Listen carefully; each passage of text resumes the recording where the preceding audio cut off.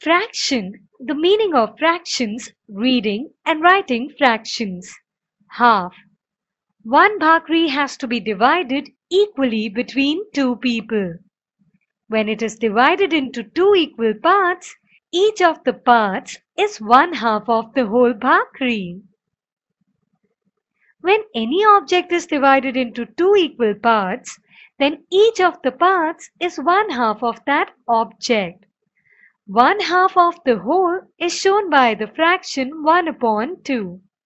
Quarters. One bhakri has to be divided equally between four people.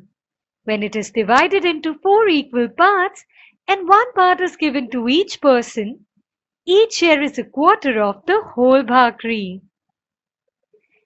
When any object is divided into four equal parts, each of those parts is a quarter of the whole. One quarter is shown by the fraction as 1 upon 4. Numbers such as 1 upon 2, 1 upon 4 are called fractions. In a fraction, the number written above the line is the numerator and the number written below the line is the denominator. In the fraction 1 upon 2, the numerator is 1 and the denominator is 2. 1 upon 2 is read as 1 half or 1 upon 2. 1 upon 4 is read as 1 fourth or 1 quarter or 1 upon 4. 3 quarters. Three children bought a cake and asked their grandfather to divide it equally among the four of them, including himself. Grandfather divided the cake into four equal parts. Each piece is one quarter of the cake. Grandfather gave Raju, Rani and Pinky one quarter each and kept the last quarter for himself. Grandfather gave his two granddaughters quarter plus quarter, that is half of the cake. He gave his three grandchildren quarter plus quarter plus quarter three quarters of the cake. One half and one quarter also make three quarters of the whole. When an object is divided into four equal parts, three of its parts taken together are three quarters. This is shown by the fraction 3 upon 4. 3 upon 4 is read as 3 fourths or 3 upon 4.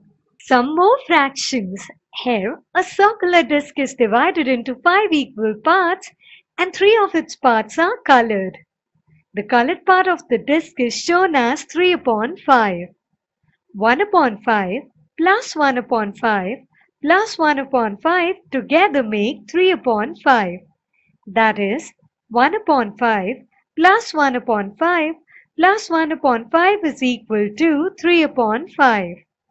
When an object is divided into five equal parts and three of them are taken, that part is shown as 3 upon 5. Here, the denominator 5 shows how many equal parts are made of the whole and the numerator 3 shows how many of those are taken. This strip has been divided into 7 equal parts and 2 parts are colored which means 2.7 of the strip is colored.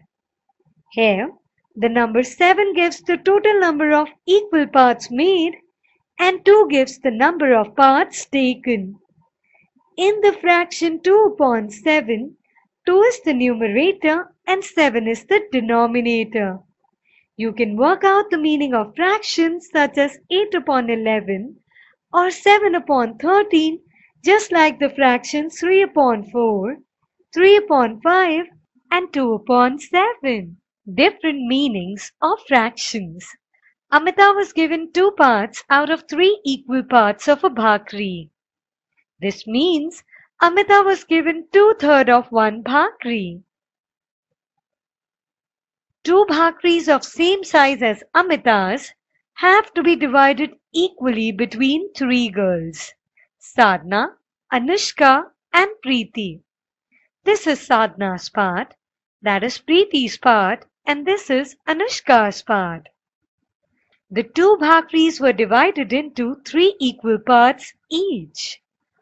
One part of each bhakri was given to Sadhana, Anushka and Preeti.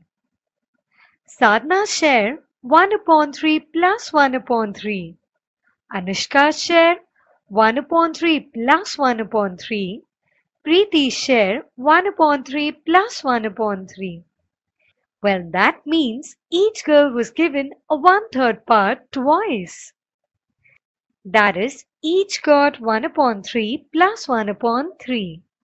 However, Amita's share and that of each of these three girls is the same. Hence, we can see that 2 upon 3 is equal to 1 upon 3 plus 1 upon 3. Note that when two bhakris are divided between three girls, each gets two-third bhakris. You know what it means? It means that two-third can be explained in three different ways.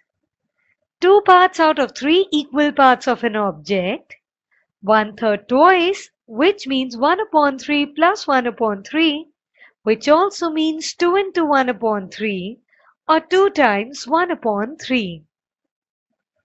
Equal division of two objects between three people.